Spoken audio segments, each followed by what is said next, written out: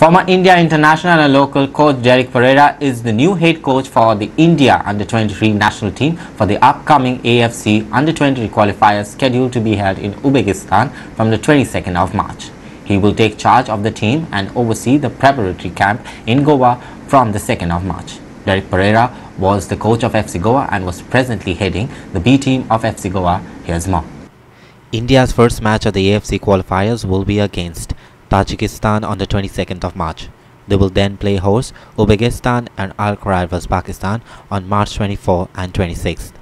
Prior to this stint with the Gaurs, 56-year-old Derrick Pereira also has coached a host of Hero I-Leagues teams like Mahindra United, Pune FC, Churchill Brothers, Salgaonkar and DSK Shivajians. Goa 365 Bureau Report